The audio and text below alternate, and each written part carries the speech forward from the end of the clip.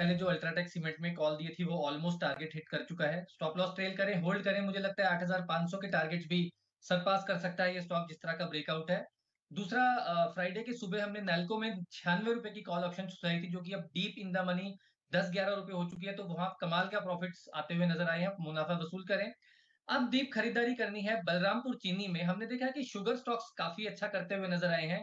ये स्टॉक अभी तक कुछ खास कमाल करता हुआ नज़र नहीं आया था, लेकिन आज यहाँ पर एक 400 के ऊपर शानदार ब्रेकआउट बनता हुआ नज़र आ रहा है। तो बलरामपुर चीनी में खरीदारी करके चलने की सलाह है। तीन सौ का स्टॉप लॉस लगाना है। पहला टारगेट चार सौ बारह रुपए, दूसरा टारगेट चार सौ बाईस रुपए। ये दोनों टारगेट एक से दो दिनों में आते हुए नज़र आ सकते हैं। बलरामपुर चीनी में खरीदारी करके चलने की सलाह। ओके, बलरामपुर